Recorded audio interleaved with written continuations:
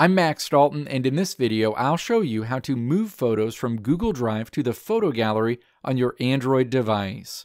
Step 1. Open the Google Drive app on your Android device. Step 2. Navigate to the folder in Google Drive where the photos are that you want to download to your Android device. Tap the vertical ellipses associated with each of these photos to open a menu and then tap Download.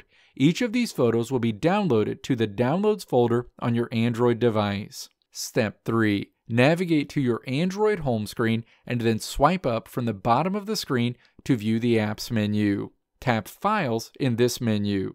The File screen opens. Step 4. Navigate to the Categories section and then tap Downloads. The Downloads window is displayed on the screen. Step 5. Navigate to one of the photos you want to move to the photo gallery on your Android device and then tap the ellipses next to it. A menu opens. Step 6. Tap Move To in this menu. A Move To window pops up. Step 7. Tap Internal Storage. An internal storage window is displayed.